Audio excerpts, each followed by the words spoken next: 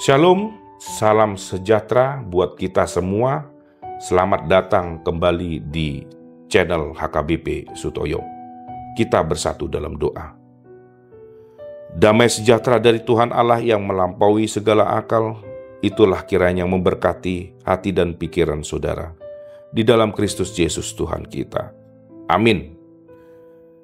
Firman Tuhan yang ingin menyapa kita di pagi hari ini diambil dari kitab ulangan 14 ayat yang kedua.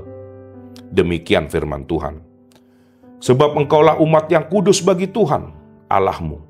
Dan engkau dipilih Tuhan untuk menjadi umat kesayangannya dari antara segala bangsa yang di atas muka bumi. Dalam bahasa Batak dikatakan, Ai bangso nabadia doho di Jehovah, debatam, jalanunga dipilit Jehovah ho, asaho gabe bangso, hapunjungan na sian saluhut bangso, aka na di atas tanoon. Demikian firman Tuhan. Saudara-saudari yang terkasih dalam Yesus Kristus, kita pasti pernah mendengar istilah anak kesayangan.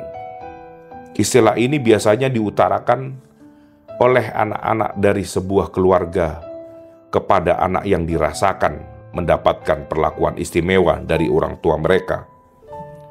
Orang tua juga terkadang tanpa disadari memberikan perlakuan khusus dan istimewa kepada seorang anak tertentu dari anak-anaknya.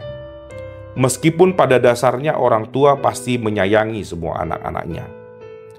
Hal ini umumnya terjadi karena seorang anak tersebut dirasakan orang tuanya lebih penurut, lebih pengertian, lebih rajin, atau lebih apa pun dari anak yang lain. Akan tetapi berbeda dengan alasan orang tua pada umumnya. Allah memilih bangsa Israel sebagai umat kesayangannya bukan karena kelebihan apa pun yang mereka miliki. Allah yang digerakkan oleh kasih tanpa syarat, memilih bangsa Israel sebagai bangsa yang kecil, bahkan bangsa yang tegar tengkuk sebagai bangsa pilihannya. Saudara-saudari yang terkasih dalam Yesus Kristus, firman Tuhan hari ini menjadi pengingat kepada bangsa Israel yang dipilih Tuhan menjadi umat kesayangannya Hal yang perlu untuk senantiasa diingat bangsa Israel adalah bahwa mereka dipilih bukan karena kelebihan mereka dibanding bangsa lain, melainkan murni karena kasih Allah pada mereka. Bangsa Israel harus menyadari bahwa ketika mereka menjadi umat kesayangan Allah, maka mereka harus menunjukkan kekudusan Allah dalam kehidupan mereka.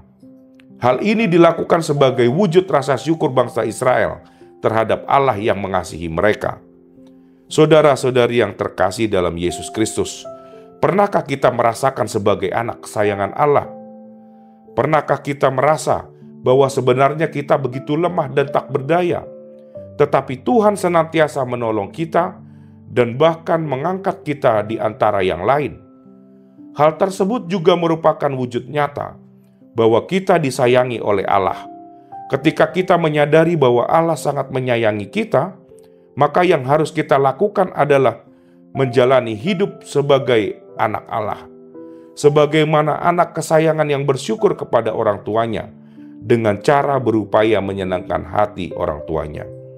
Demikianlah dalam hidup ini, kita seharusnya selalu berupaya menyenangkan hati Allah kita dan berperilaku selayaknya orang-orang kudus. Mari kita jalanilah hari ini dengan menunjukkan bahwa kita semua telah menjadi anak kesayangan Allah.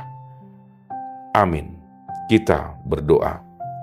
Terima kasih Bapa yang baik atas kasih-Mu bagi kami. Engkau senantiasa menyayangi kami, sehingga kami dapat kembali merasakan hari yang baru dengan kesehatan dan nafas kehidupan dengan itu kami dapat melanjutkan segala rencana dan aktivitas kami hari ini.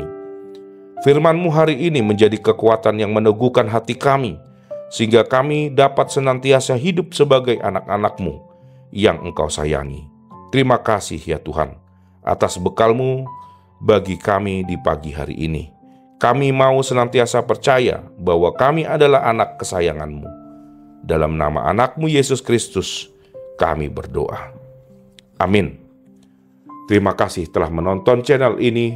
Buat Bapak Ibu, saudara-saudari sekalian, selamat beraktivitas kembali. Salam sehat. Tuhan Yesus memberkati.